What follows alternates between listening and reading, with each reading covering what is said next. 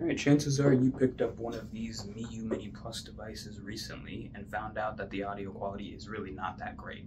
The reason for that is these are actually pretty underpowered. The CPU runs at a pretty slow clock speed. This causes the audio to be kind of crackly and just low quality. Uh, so basically what I'm going to show you is how you can overclock this in less than 60 seconds to get rid of the crackling audio and have great sound quality again.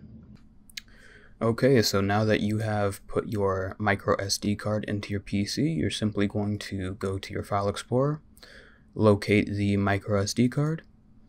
Inside of this folder, we are going to create a new text document, which you are going to name CPU clock.txt. Open up this file and simply type in 1800 click File, click Save, and that is literally it.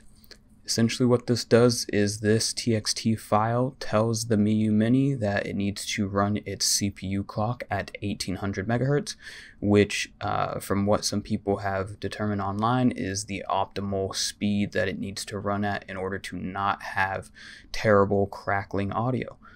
So that's about it. Uh, like I said, it would take less than 60 seconds, super easy. Now you can, you know, right click and eject the SD card, throw it into your Miyoo Mini Plus, and that's it. There's nothing else needed. You're done.